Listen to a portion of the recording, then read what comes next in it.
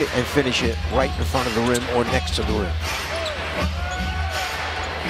Zubac rifles a pass inside the Shamet and he lays it in an 8-2 start for the Clippers. One after losing a game. So they've been very good at bouncing back after taking a loss. They've only been blown out by 20 plus four times this year and really had wanted this guy back in July. And Lawrence Frank, if you read the LA Times today, said, look, our first call in the free agent process was to Kawhi Leonard. Our second was to Marcus Morris. It didn't work out in July. It's worked out perfectly here in February, and the Clippers are stacked for a nice little run as Paul George. Full stadium. They're all right in a row down the street.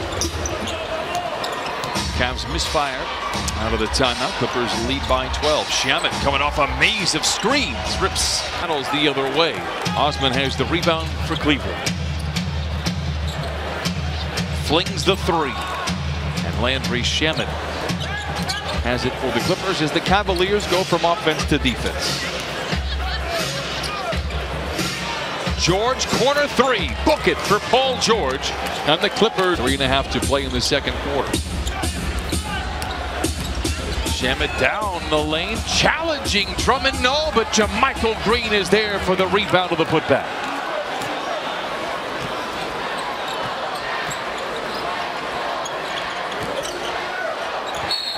Garland crossing blades with Shamet whistle foul. Stops the clock 3-11. Wants to come in and fit the role that is needed of him, but Doc Rivers is having guys that can be on the court and shoot. Five guys that can shoot at once is going to be a big advantage for them in the postseason. Here's a guy, Christina, that can shoot. Landry. Uh, no Hagel. No, wait.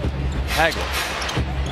Hold on. Coming up at halftime, brought to you by Cadillac Clippers. Offense bounces back, and Paul George, he does it all. Shamet misses there. Hagel means you don't think so. I don't think so, so I will haggle. They've only added more three-point shooting. It could happen.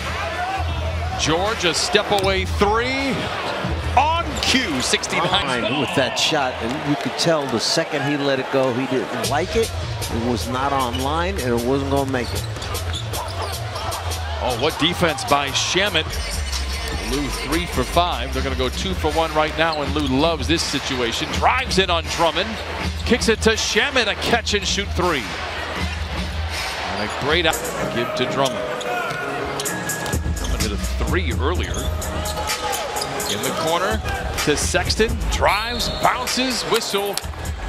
And a phone rebound. Powers it up. Zubac defending the iron. Not this time. Shamet to a wide open Paul George for three. Bucket. Have to make very difficult decisions sometimes. Love for three. One of the best things he did, says he's one of the most proud of anyways. Shamet rises for a three in and out. Was during game. We can finish. Drummond does have a player option as Zubac gets around him, feeds to an open Shamet for three. Got it to Nance for three. Rebound batted up, but not in by Andre Drummond.